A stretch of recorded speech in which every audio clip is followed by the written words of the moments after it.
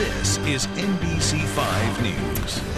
Britain's royal engagement has jewelers around the country working overtime tonight. Yeah, they have been overwhelmed with calls for rings, similar to the stunner future Princess Kate Middleton showed off earlier this week. Many people, of course, instantly recognized that 18 karat sapphire and diamond ring. It was first worn by Prince William's mother.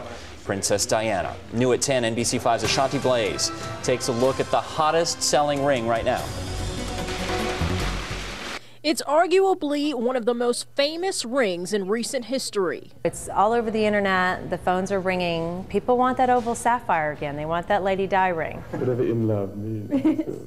A ring first made famous by its namesake almost 30 years ago. Is it's an oval sapphire. It's brilliant cut, and then it has round brilliants that are actually prong set along the outside.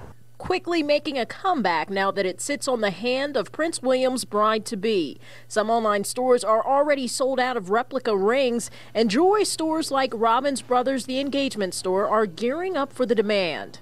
We do have something that's similar, not in the large version certainly. Uh, her sapphire was uh, tremendously large, so a lot of women won't be able to necessarily pull that off or be able to pull off the price tag. Lady Di's ring is worth about a half a million dollars. Just the stone alone is 300,000. Don't have that kind of cash? Well, not to worry. You have plenty of options in searching for your own Lady Di inspired ring. Sapphires come in every color except for red.